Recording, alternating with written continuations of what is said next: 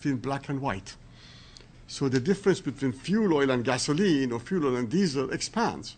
The oil market thinks in percentages.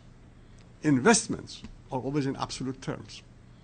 So if there's only $8 it costs to convert one to the other, if the prices jump, the price of it is $150, this gaps expand. So all the refineries which have sophisticated units make money. But they go to $80, gap becomes narrow. If they go to 60, it's a disaster. So the absolute price of oil, absolute price of oil also has a big impact on the margins, refining margins. Finally, I wanted to say that, you know, people in the oil industry look for opportunities.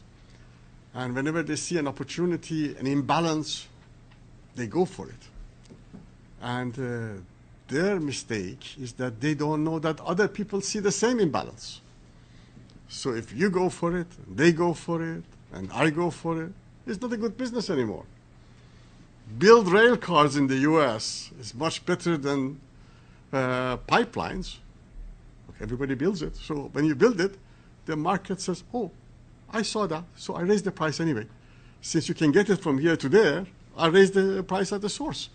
So a lot of the people who have made investments are very unhappy because they didn't get the benefits. I mean, you know, they see the imbalance, but they were the, not the only ones which saw it.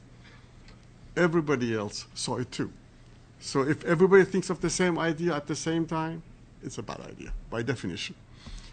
And uh, if your economics is good, you cannot move forward alone on your own economics. You have to watch your neighbor's economics.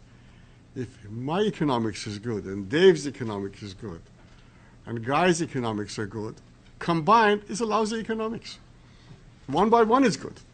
So don't always look at what you can do yourself, but look at what happens with other people do the same.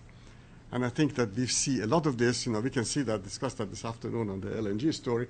Everybody said, it's for me, it's good. But for everybody, it's good. So combined, it's not good. And all of the margins have disappeared or will disappear in this rush because there is no way that you can make a lot of money and somebody will not come for you. And this assumption that I can continue to do this indefinitely is unfortunately not the right assumption.